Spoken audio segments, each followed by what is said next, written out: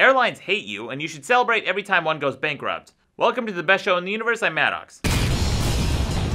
Shortly after 9 11, everyone decided that the most rational response to the extremely unlikely event that their flight would get hijacked was to avoid air travel altogether. The airline industry found itself struggling for its very existence and started levying fees to help make up the cost. The fees are for everything from checked luggage to choosing to sit next to a family member you're traveling with. Yes, if you buy two or more tickets on certain airlines, you actually have to pay an extra fee to not be separated from your family. Looks like the terrorists aren't the only ones holding us hostage. But as profits continue to rise and the airline industry recovers, these fees aren't going away. So I'd like to offer some new fees that I'd be happy to pay if the airline industry introduced them. Baby Buffer Zone.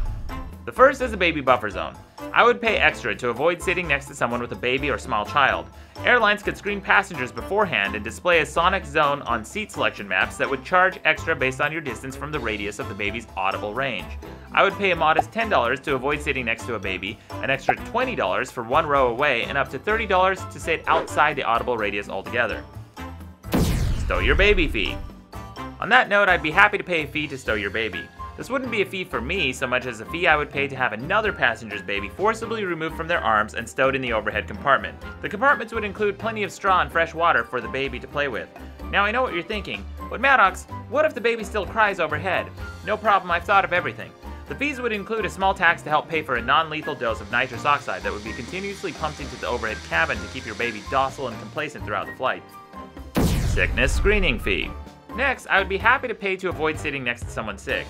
Passengers would give a small blood sample at check-in that would be rapidly scanned for any pathogens before boarding the flight. This fee would include screening for sexually transmitted diseases, since attractive passengers like myself have a higher likelihood of in-flight fornication with another passenger or multiple stewardesses. Bad breath fee. I'd pay extra to not sit next to someone with bad breath. A modest $5 would start the bidding amongst fellow passengers to have a one seat buffer area between you and the halitotically challenged idiot who still hasn't learned that flossing is important. Seriously, floss. Skinny person fee. I'd pay a fee to sit next to someone skinny. Airports could have a staff of physicians who would measure a person's body mass index before a flight. This would have the added benefit of reducing the unemployment rate at body fat caliper factories. A small percentage of this fee could even be rewarded to skinny passengers as a thank you for not displacing every last molecule of space in the cabin with adipose tissue. Punch a Delta employee. I would gladly pay a fee to punch a Delta employee right in the face. It doesn't even have to be one of my choosing. Any Delta employee would do. I would get one solid hook to the eyes, cheeks, forehead, or mouth that I could redeem at any time within a six month window before or after the date of travel. And that includes no blackout dates.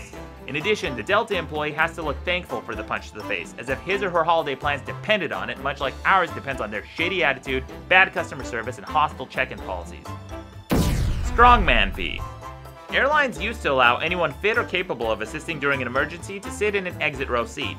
Over time, passengers learned that these seats were desirable for the extra legroom, so instead of finding someone up to the task, airlines decided to charge extra for the added responsibility. Yes, it no longer matters if you're weak, unwilling, or unable to assist other passengers. Now your life is in the hands of the richest asshole willing to pay for the seat. This fee I'd pay isn't so much a fee as an arm wrestling competition.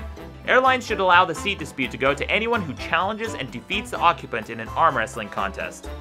American Airlines Spite Fee. I'd pay up to 10% extra on my ticket price to make American Airlines go out of business. The extra money would go towards a fund that would exist solely to generate returns for the eventual financial collapse of American Airlines. Upon going bankrupt, every American Airlines passenger who's ever had to fly the carrier would receive a small ornament that they could hang during the holidays, so we can feel warm and celebrate knowing that no other passenger will ever have to deal with their cramped planes, abhorrent flight attendants, and unhelpful gate staff ever again. That's it for now. Until next time, I'm Maddox.